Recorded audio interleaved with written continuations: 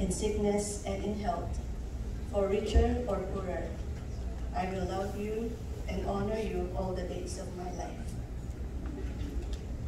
May I invite everyone to please all stand as we pray